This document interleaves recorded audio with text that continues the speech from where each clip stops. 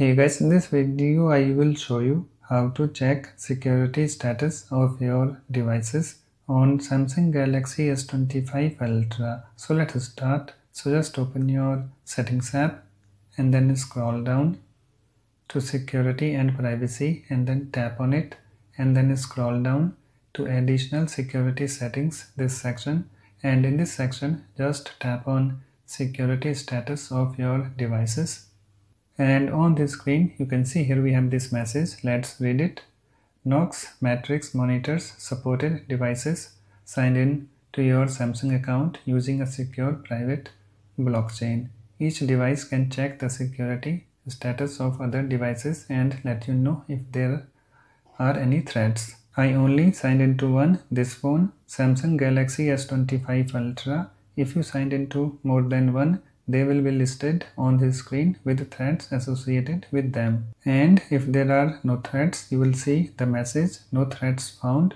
So this phone Samsung Galaxy S25 Ultra have no threads. You can see the message no threads found. So that's it. Please like, comment and subscribe for more videos.